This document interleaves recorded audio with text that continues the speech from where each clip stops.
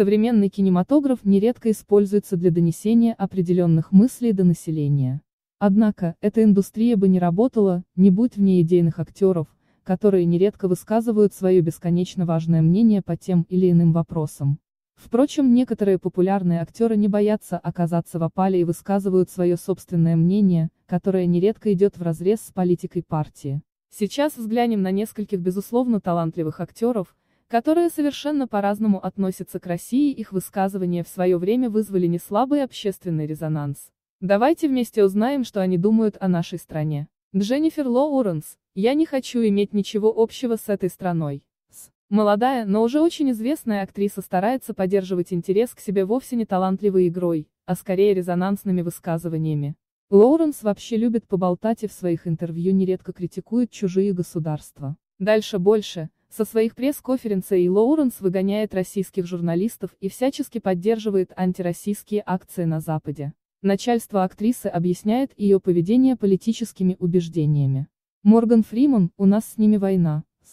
Среди резко негативных высказываний о России отличились не только молодые и дерзкие актеры, что только пытаются набрать популярность. Одним из самых ярых критиков нашей страны оказался великолепный актер Морган Фриман. Дорогие американцы, во время последних выборов мы подверглись атаке со стороны российского правительства. Это нельзя оставлять без ответа. Фриман на старости лет ударился в политику и всячески агитирует за определенную партию. А когда эта самая партия проиграла выборы в США, Актер не придумал ничего интереснее, чем обвинить Россию во вмешательстве в суверенитет его страны. Какая ирония. Рейф Файнс, говорить по-русски для меня уже не проблема. Если американские актеры стараются во всем потакать превалирующим политическим мнением, выступая в качестве рупора пропаганды, то британцы куда более благоразумны. Рейф Файнс многим зрителям знаком за исполнение роли Валанда Морта в серии фильмов о Гарри Поттере. При этом Файнс признался, что не интересуется большой политикой, но обожает российскую культуру. Актер серьезно изучает язык, нередко прилетает в страну как с рабочими визитами, так и в качестве туриста. С огромным удовольствием пожил бы в настоящей российской глубинке.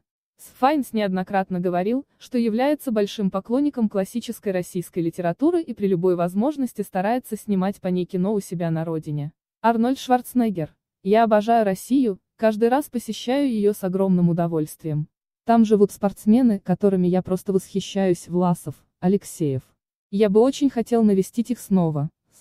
Разумеется, нельзя обойтись без железного Арни. Товарищ Шварценеггер последние пару десятилетий на Западе считается фигурой весьма одиозной. Впрочем, именно это и помогает ему свободно высказывать свою непопулярную точку зрения. Арнольд во множестве своих интервью говорил, что обожает бывать в России и безмерно восхищается местными спортсменами. По его словам, отечественные спортсмены не только серьезные конкуренты на мировой арене, но еще и умнейшие люди.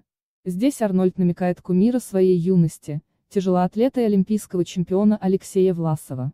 Алексей Серебряков, уж лучше искусственные улыбки Запада, чем искренняя злоба российского хама, Большинство актеров отечественного производства благоразумно воздерживаются от остросоциальных комментариев или критики общества в целом. Однако не все. Огромный резонанс вызвал целый ряд противоречивых высказываний отличного российского актера Алексея Серебрякова. Актер метко, а иногда и слишком резко высказался о своей стране и людях в целом. Я думаю, что если отъехать на 30, 50, 70 километров от Москвы, много элементов 90-х годов вы увидите. На сегодняшний день ни знание, ни сообразительность, ни достоинство не являются прерогативой России.